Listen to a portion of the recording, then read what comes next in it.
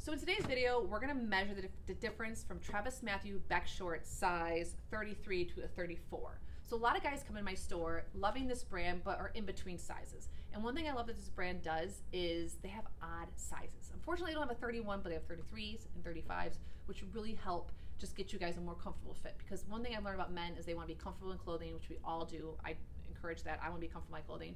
And having these odd sizes is really great. So TravisMathew does actually a really great job on grading their patterns up. So when they go from a smaller size to a bigger size. So I'm going to walk through the measurements. Grab your tape measure if you want to compare these shorts compared to your favorite short or your guy's favorite short, or you want to try this brand out. Walk through measurements. You can compare about a pair of shorts and see which size you should get. Okay. Um, Beck short, TravisMathew 33. So button to button, zipper it all the way up, just kind of lay it nice and flat. All right. Take your tape measure. We're gonna measure on the inseam, inside of the waistband just because that's where your waist is, um, not in the outside because it'll be much bigger. Um, but inside, the 33 measures about 36 and three quarters, which that times two is you're looking about 33 and a half, I want to say. Um, so there's that. The rise on the 33 is about 10 and a half. Okay, it's a little longer. Then the thigh, the thigh should be bigger. Yep, 13 compared to, I did the video for the 32 just a minute ago.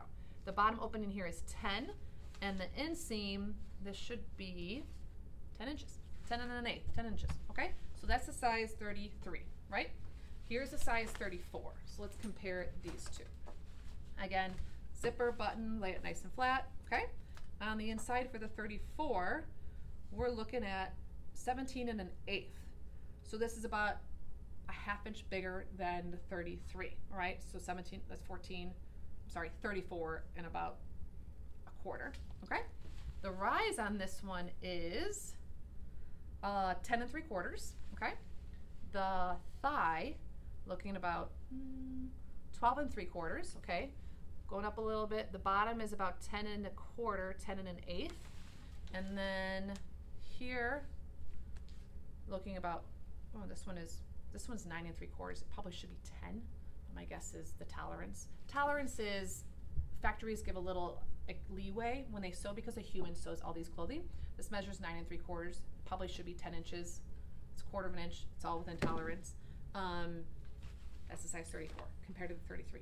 But keep in mind, if you have a pair of these shorts at your house and it doesn't fit exactly the same, it's because of tolerance. So tolerance is each factory has about a quarter, half of an inch, just kind of within the guidelines of what the approved patterns and make is for the brands when they establish their fit guides.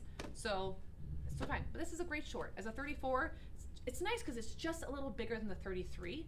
Um, but proportionally wise, you want to be more comfortable, go to a 34. You want something a little trimmer and tighter, go to a 33.